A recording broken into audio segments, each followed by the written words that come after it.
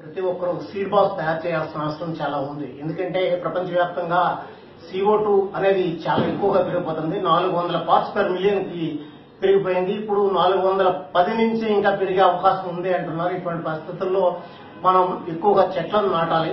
ఆ చెట్లను నాటాలి అంటే కొండల మీద చెట్లు నాటే ప్రయత్నం అంత ఈజీగా అయ్యేది కాదు కాబట్టి మనం సంవత్సరం పొడుగునా దొరికే విత్తనాలను సేకరించి వర్షాకాలంలో ఈ విత్తనాలతో బంతులు తయారు చేసి విత్తన బంతులను మన కొండల మీద వేయడం ద్వారా మనం అడవి అనే దాన్ని పెంచవచ్చు. ప్రధానంగా అత్యధికంగా ఆక్సిజన్ ఇచ్చే చెట్లను రాత్రి పగలు ఆక్సిజన్ ఇచ్చే చెట్లను మనం పెంచాలి. ఈ విత్తనాలు ఇలాగా పేడ మట్టిలో పెట్టి ఒక్కొక్క గింజ ఇలా పెట్టి మనం పనస గింజలు మజ్జి ఇట్లా చాలా రకాల విత్తనాలు ఏవైతే ఉన్నాయో అన్నింటిని సేకరించి సీడ్ బాక్స్ తయారు చేయాల్సిన అవసరం ఉంది. ఈ సీడ్ బాక్స్ అన్నింటినీ కూడా ఇలాగ డెబ్బై శాతం ఆవు పేడ ముప్పై శాతం మట్టి పెట్టి తయారు చేయడం ద్వారా వీటిని మనం తయారు చేసుకోవచ్చు. ఈ తయారు చేసిన అన్నిటిని కూడా కొండల మీద వేయడం ద్వారా ఇట్లా మొక్కలు వస్తాయి. ఇలా వచ్చిన మొక్కలన్నీ కూడా మనకి మన వాతావరణానికి చాలా అనువుగా ఉంటాయి. అంతేకాకుండా పక్షులు గూళ్ళు పెట్టడానికి పక్షులకు ఆహారాన్ని అందించడానికి మనకు ప్రాణవాయువు అందించడానికి ఇవి ఉపయోగపడతాయి. కాబట్టి మనము పెద్ద ఎత్తున సీడ్ బాక్స్ తయారు చేసి ఈ సీడ్ బాక్స్ అన్నింటిని కూడా ఆరబెట్టి ఆరిన తర్వాత ఈ సీడ్ బాక్స్ తీసుకెళ్ళి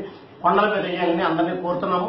ప్రధానంగా మేము విశాఖ మహానగరంలో రెండు వందల నలభై విద్యా సంస్థల్లో విద్యార్థులతో కలిపి చేస్తున్నాము. ఈ కార్యక్రమం ఇంతవరకు చేసిన దాంట్లో మేము చాలా వరకు విజయవంతం అయ్యాము గత ఏడాది లక్ష అరవై వేల సీట్ బాల్స్ చేయడం జరిగింది. ఈ ఏడాది ఇప్పటి వరకు మూడు లక్షల నలభై వేల సీట్ బాల్స్ కొండల మీద వేస్తాం ఇంకో రెండు లక్షల